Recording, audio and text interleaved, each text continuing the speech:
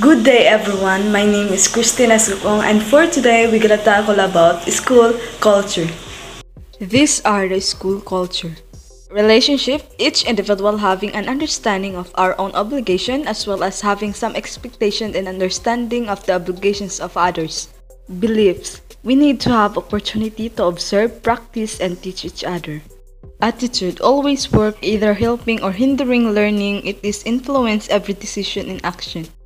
Pattern of behavior. This pattern is a way of behavior of the people and number of people following certain to make it costume. Values. A principle that guides our thinking and also our behavior. Values support our personal and spiritual development throughout the school. Traditions is the powerful means to perpetuate school culture.